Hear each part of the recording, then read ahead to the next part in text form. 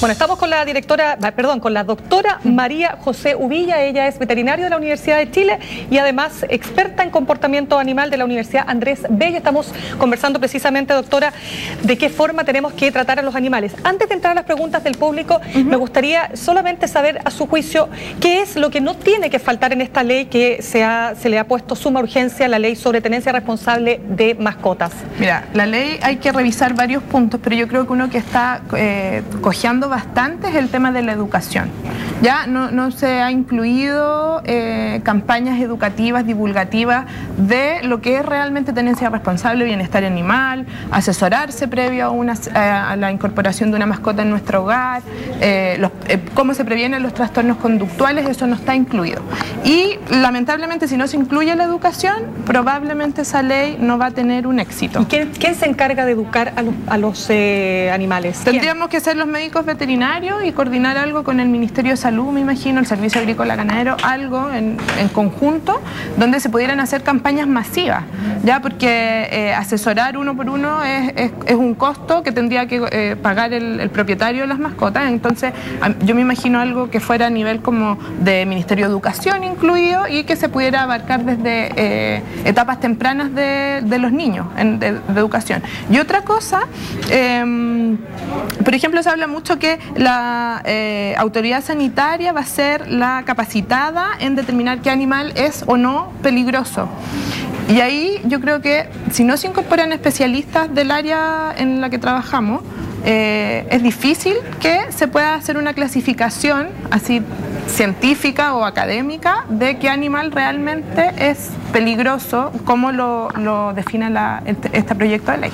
Doctora, vamos a revisar las preguntas que nos han llegado a través eh, de nuestro Facebook. Andrés Barriga, vamos a ver qué pregunta él. Dice, si me muerde un perro en la calle, ¿el dueño está obligado a pagar los gastos médicos en caso de heridas?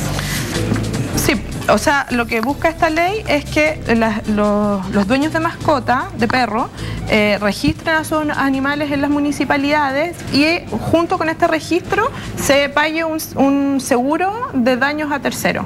Como, como un, seguro civil de daños Exacto, como lo que uno tiene cuando uno compra un auto, tiene un auto, ¿no es cierto? Y tiene un seguro obligatorio. Y que sería de mínimo 100 UTM. Por lo tanto, estaría cubierto algún tipo de daño, por lo menos básico, o de, pero todavía como no se aprueba, no, no, está corriendo esto. Y cada municipio tiene su propio reglamento y habrá municipios que, de verdad lo desconozco, pero habrá municipios que ya tienen incorporado algo así. Doctora, vamos a revisar lo que dice Francisca Bustos. Ella pregunta, ¿qué raza sería apta a comprar en un hogar en donde viven niños pequeños? El objetivo es que no le teman a los animales y se relacionan de buena manera con ellos, porque en realidad está visto que los animales tienen un efecto muy pedagógico y muy importante también para los niños, ¿no? En su crecimiento y en su, en su desarrollo también de afectividad. Sí.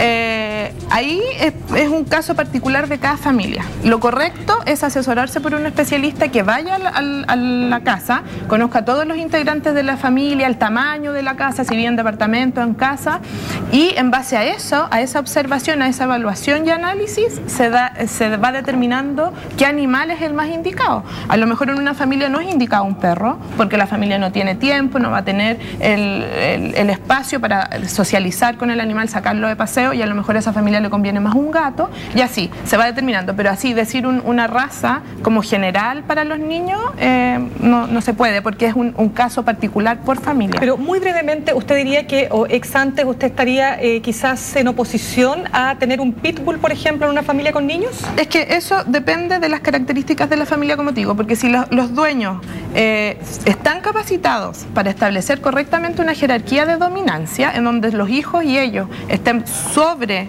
jerárquicamente el perro, y eso no significa que le van a pegar, lo van a castigar, sino establecer una jerarquía como corresponde, hablar el lenguaje canino, no habría problema. Y siempre y cuando ese animal venga de un criadero, donde se cumplen todos los requisitos necesarios durante la gestación, de enriquecimiento ambiental, las primeras etapas del desarrollo han sido correctamente tratados los animales conductualmente, no habría problema.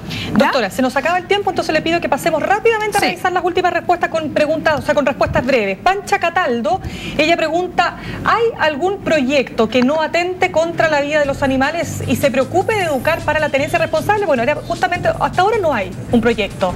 Que, involucre educación. Educación, pero también que no parta de la base que animal que ataca, animal que tiene que ser... Eh, pero este proyecto no, no es, eh, o sea, solamente habla de eutanasia en casos muy puntuales, donde también hay que hacer revisión. Animales que están eh, con enfermedades terminales o que se consideren agresivos y, peligrosos, pero como te digo, si no hay un especialista de por medio, yo no estaría de acuerdo en que se incluya ese artículo. Doctora, me parece súper importante la pregunta que hace Paola Mendoza y quisiera, eh, digamos, revisarla antes de que terminemos. ¿Cómo se debe actuar cuando un perro ataca a alguno de mis hijos? ¿De dónde se debe tomar el perro? Porque eso es lo que pasa también. La persona está impotente frente a esa agresión, ¿no? Me imagino que esa persona está preguntando, eh, poniendo un caso en un perro en un parque o en la calle. Exacto. Lo, más, lo correcto sería tomarlo del collar para evitar que el perro pudiera atacar a la persona que lo está quitando. Pero si es un perro vagabundo o que no tiene ningún medio de sujeción, eh, habría que tomarlo de, atrás, evitando el contacto directo de la cara con de la cara de la persona que está sujetando al perro con, la cara del perro mismo. O sea, de la cola podríamos pensar, ¿no? Podría ser de la cola, igual el perro se puede girar y morder, pero es menos riesgoso enfrentarlo directamente. Directamente, exacto. Doctora eh, María José Uvilla, eh, bueno, lamentablemente quedan muchas eh, preguntas sin responder. Solamente un dato, ¿dónde se puede dirigir la gente vía internet, por ejemplo, si quiere tener más antecedentes de cómo evaluar el comportamiento animal? ¿Dónde hay una, un grupo de personas que se dediquen a esto y que puedan se pueden asesorar en www.edupet.cl.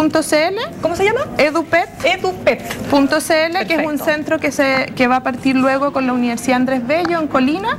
Y también se pueden dirigir a ASECVET, que es la Asociación... Eh, de Etología Clínica Veterinaria de Chile. Aún no tenemos página web, pero estamos trabajando en ello. Bien, muchas gracias, eh, doctora María José Uvilla, por estar aquí con nosotros. De esta manera cerramos estos 30 eh, minutos informativos. Ya viene más en N Chile. No te pares.